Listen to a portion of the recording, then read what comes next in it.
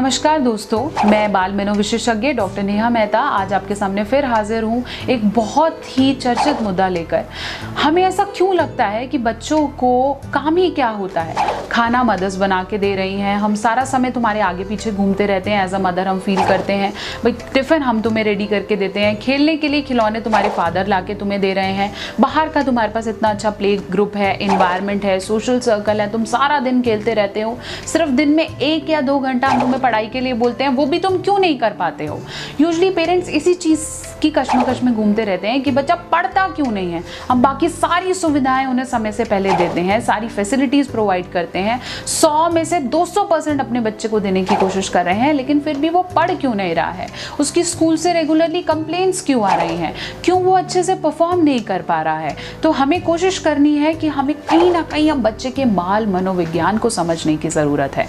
तो आज इस वीडियो के माध्यम से मैं आप लोगों को बाल मनोविज्ञान की कुछ ऐसी इंपॉर्टेंट बातें बताने वाली हूँ। जैसे ही आप इन्हें समझ जाएँगे, जब आप इस वीडियो को अंत तक देखेंगे तो आप समझ पाएँगे कि बच्चा भी खाली नहीं है। उसके पास भी बहुत सारी और जिम्मेदारियाँ हैं जो उसे निभानी होती हैं। लेकिन ये क्या है, कैसे है और बच्चों का बाल मनोविज्ञान कैसे पढ़ना चाहिए, उसके बारे में मैं आपको बताने वाली हूँ। तो इससे पहले मैं शुरू करूँ प्लीज़ इसे लाइक करें शेयर करें, इस वीडियो को अंत तक देखें और सब्सक्राइब करें हमारे चैनल को ताकि मैं और बाल मनोविज्ञान की वीडियोज़ को लेकर आपके सामने आ सकूँ। तो चलिए अब जानते हैं कि बाल मनोविज्ञान है क्या। अगर एज अ पेरेंट आपको लगता है कि मैं एक माता भी हूँ, एक वाइफ भी हूँ, किसी की बेटी भी हूँ, किसी की बहू भी हूँ, किसी की सिस्टर भी हूँ तो बहुत सारे रोल्स जब मैं अपने कैलकुलेट करती हूँ, हमें भी ऐसा होता है कि हम सोचते हैं कि मेरे को ये काम करना है, ये काम करना है तो इसे हम बोलते हैं रोल कॉन्फ्लिक्ट हम अपनी दोनों रोल्स के बीच में अटक जाते हैं कि हमें कौन सी चीज़ को कैसे इम्प्लीमेंट करना है।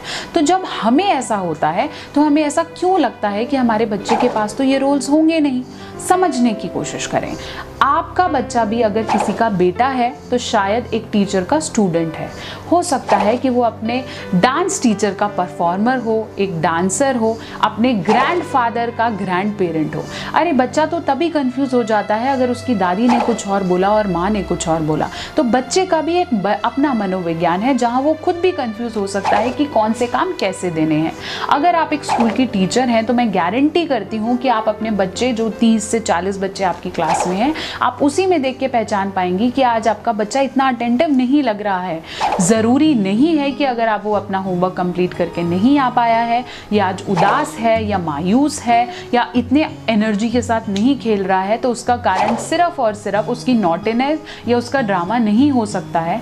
कभी कभार हो सकता है कि वो अपने ज़िंदगी के दोनों पहलुओं में, दोनों रोल में कंफ्यूज हो। तो इसी कारण वो इस तरह का बिहेवियर पोर्ट्रे कर रहा है। तो कोशिश करें इन कारणों को जानने की। एज ए टीचर हो सकता है हम लोगों के पास इतना समय नहीं होता कि हम हर बच्चे को लेकर उस बात को डिस्कस कर सकें, लेकिन अगर हम थोड़ा सा समय निकाल पाए तो हम बाल मनोविज्ञान के बारे में बच्चे के अंदर चल रही फ़िज़िकल और मेंटल प्रॉब्लम्स को असेस कर सकते हैं। सिमिलरली अगर आप मदर हैं तो थोड़ा सा समय बच्चे के साथ बैठे, उसकी भी बहुत सारी जिम्मेदारियाँ और रिस्पॉन्सिबिलिटी हैं। डिस्कस करें, हो सकता है, उसके अंदर एक इंटरनल कॉन्फ्लिक्ट एक इंटरनल द्वंद्वयाई कुंठा चल रही है। उससे उसे निकालने की कोशिश करें। बच्चा छोटा ज़रूर है, ईगो ज़रूर है, लेकिन रोल्स की प्रॉब्लम्स रिस्पॉन्सिबिलिटीज़ या किसी भी चीज़ की जवाबदारी बच्चे में भी है। तो उसे समझें, बच्चे को धीरे धीरे उस मेंटल स्टेट से निकालें, ताकि आगे किसी भी तरह का एग्रेशन बिहेवियर पढ़ाई पे कंसंट्रेट ना करना या किसी भी तरह का झुंझलाना इरिटेशन इस सब चीज़ों से वो निकल पाए और इस तरह का बिहेवियर वो आगे लंबे समय तक ना दिखा पाए। तो जितनी जल्दी आप बाल के मनोविज्ञान को समझेंगी, उतने बेहतर तरीके से आप खुद की लाइफ भी एज अ पेरेंट भी बेटर कर सकती हैं और बच्चे को भी बेटर तरीके से समझ कर एक अच्छी पेरेंटिंग को इम्प्लीमेंट कर सकती हैं। तो प्लीज़ इस वीडियो को लाइक करें शेयर करें, मेरे चैनल को सब्सक्राइब करें और पेरेंटिंग से रिलेटेड अगर आपको किसी भी चीज़ की कोई इशू हो, आप मुझसे डिस्कस करना चाहती हैं तो माई फिट ब्रेन क्लिनिक आप मेरे से डिस्कस कर सकती हैं। नीचे डिटेल्स आपको सारी दे रखी हैं, मेरे फेसबुक पेज की वेबसाइट की। मुझसे बात करें शेयर करें। हो सकता है मेरी कुछ एडवाइसेस आपको मदद कर सके एक अच्छा पेरेंट बनने में। तो आगे हम मिलते रहेंगे, हम डिस्कस करते रहेंगे और बहुत सारे टॉपिक्स इसके लिए आपको मुझे सब्सक्राइब करना पड़ेगा। तो बेल आइकन को प्रेस करें, हमारे चैनल को सब्सक्राइब करें।